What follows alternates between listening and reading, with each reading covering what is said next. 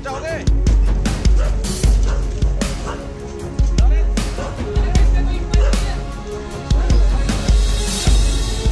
दारू बोलना चाहोगे?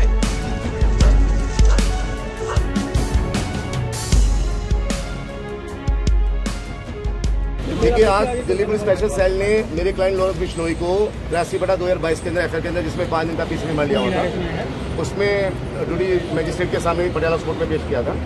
और उसके अंदर उन्होंने ये कहा है कि हमने लॉरेंस बिश्नोई को इस पाँच दिन के पुलिस रिमांड के दौरान जो है दिल्ली एनसीआर के आसपास लेके गए हैं।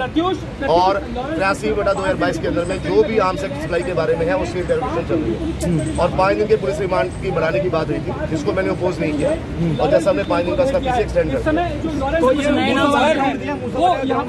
नहीं वो बिल्कुल वो सब कुछ जो है फेक है। वो मूसा वाले के बारे में कोई इस, इस वाले मामले के अंदर जो पीसी लिया गया इसके बारे में मूसा वाले मामले में कोई भी पुलिस ने यहाँ पे कोई डिस्क्लोज नहीं किया। और कोई इंटेरोगेशन के बारे में कुछ नहीं है। तो पाँच दिन के अंदर इन्हें इन्होंने कहा उत्तराखंड से लेकर देखिए मेरे पास में ये पुलिस की रिमांड एप्लीकेशन की कॉपी है जो मैं आपको सबको देता हूँ ये कोर्ट के थ्रू मुझे सप्लाई हुई है। और इसके अंदर साफ़ मेंशन है कि इसके अंदर कोई भी मूसा वाले केस से रिलेटेड कोई भी इंटेरोगेशन या इन्वेस्टिगेशन नहीं हो रही है। ये सिर्फ़ वही तिरासी बटा बाईस जो एफआईआर है जिसके अंदर आर्म्स एक्ट का मैटर है।